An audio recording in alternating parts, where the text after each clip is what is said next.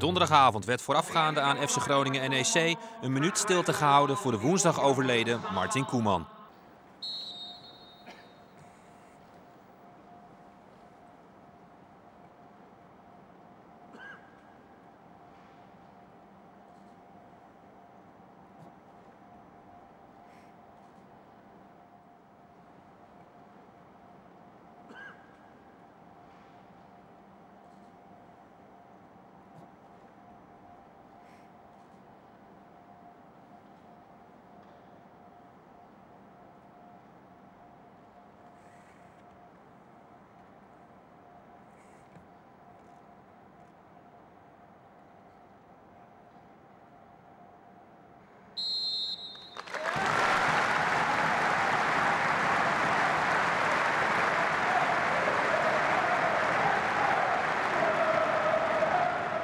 Martin Koeman werd op 11 augustus van dit jaar nog gehuldigd in Euroborg, omdat hij 75 jaar was geworden en 50 jaar werkzaam was voor de club.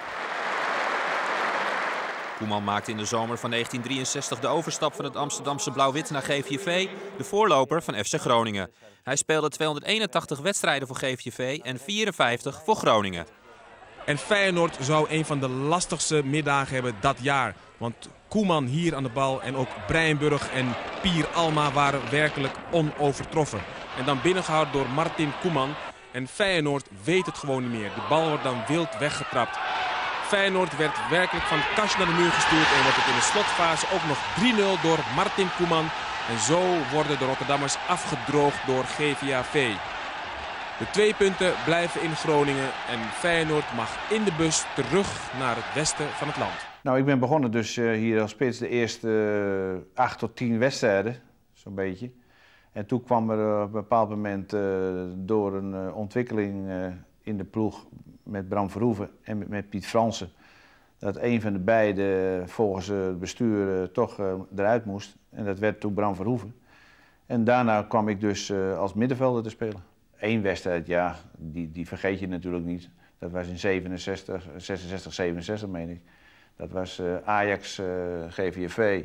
Dat uh, alles, alles klaar stond. Alle bloemen stonden klaar, alles stond klaar bij Ajax. Maar ja, die wedstrijd wonnen wij met 0-1 door een doelpunt van Ole Fritsen. En een geweldig keeperswerk van Tony Verleeuwen. Je bent ook geselecteerd geweest voor het Nederlands elftal. Elf keer als ik me, me niet vergis. En je hebt ook een keer het shirt echt gedragen. Dat wil zeggen, je hebt één keer in het veld gestaan. Eén keer heb ik dus drie kwartier gespeeld in Nederlands elftal in Nederland-Oostenrijk in Amsterdam met Klaas Nunega samen, die dus toen nog dat seizoen bij GVV speelde. Later naar Ajax is verhuisd.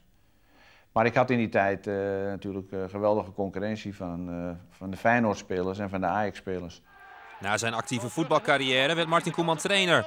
Bij GSC Groningen had hij zijn zoons Erwin en Ronald onder zijn hoede, die later hun fraaie carrières zouden beginnen bij FC Groningen.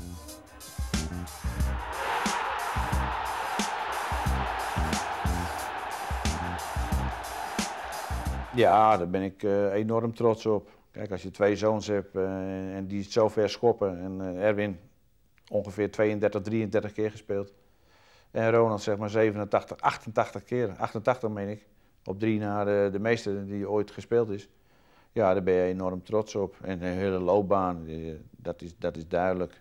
Martin Koeman bleef zelf ook altijd betrokken bij FC Groningen. Zo was hij in 1988 assistenttrainer en schakelde hij met FC Groningen het Spaanse Atletico Madrid uit. Thuis dan uh, geweldig. Mensen s'nachts om vier uur uh, aan, aan kaartjes kopen. Uh, of tenminste in de rij staan. En zo vol, zo vol.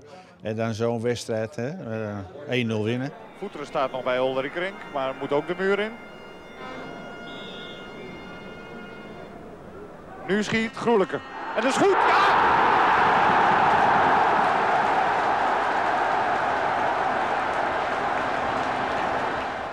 Koeman wordt gezien als de grondlegger van de jeugdopleiding van FC Groningen.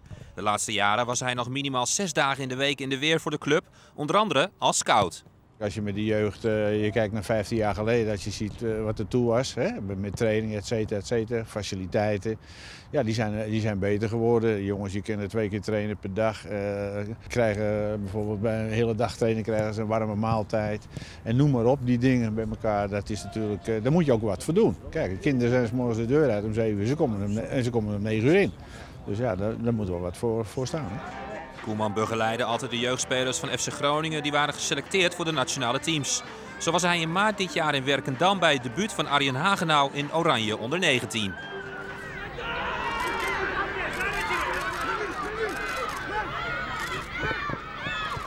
De ouders die waren uh, werk.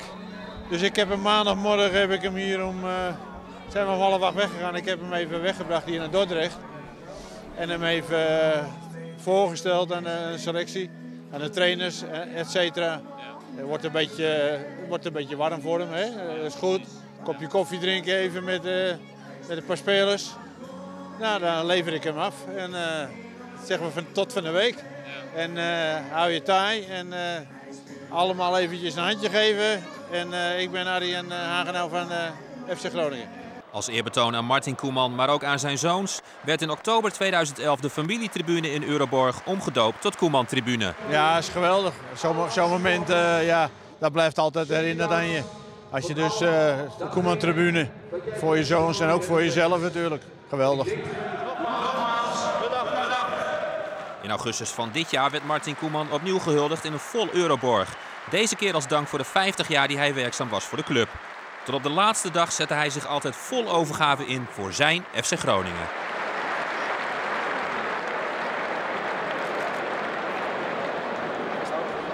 Ik ben gisteren bijvoorbeeld, uh, zit ik de hele dag op een toernooi in, in Hoorn van Hollandia met hele goede clubs. Wij hebben zelf jeugdspelers die uit Hollandia komen. Dit jaar er weer bij. Nou, ja, dan rijd ik s'avonds door uh, de Amsterdam, Apeldoorn uh, naar, naar Almelo. Dus dan ben ik op tijd voor Almelo uh, Zolle, ja. gisteravond. Ja, en dan kom je thuis en dan is het toch weer half elf. Dus, uh, ja, en dan de volgende dag hier weer staan. Ja, maar goed, dit is, uh, dit is feest.